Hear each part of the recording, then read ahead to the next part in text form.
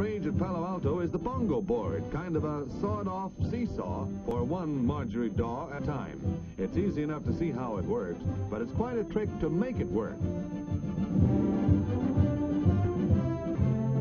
Models or just anybody interested in keeping in shape find that by using bongo, bingo, everything shapes up nicely.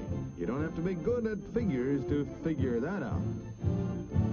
The gals are falling for bongo in a big way.